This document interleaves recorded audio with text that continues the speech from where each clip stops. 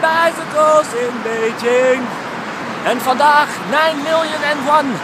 Want Bob van Leeuwen zit op de fiets in Peking. Ik ben al uh, ruim een uur aan het zoeken naar een gebouw. Maar ja, ik snap die tekens niet. Dus dat wordt uh, redelijk ingewikkeld allemaal. Um, het is hier gewoon fantastisch. Het is hier snelweg en fietspad ineens.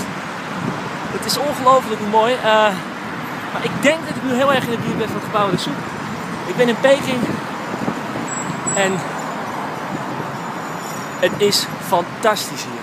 Ik heb het zo ontzettend naar mijn zin dat ik het nu al jammer vind dat ik over een paar dagen, dat ik hier maar drie dagen heb eigenlijk. Ik ga twee dagen naar de Chinese muur en dan heb ik hier maar drie dagen. Ik vind het zo ontzettend jammer. Ik heb het zo ontzettend naar mijn zin.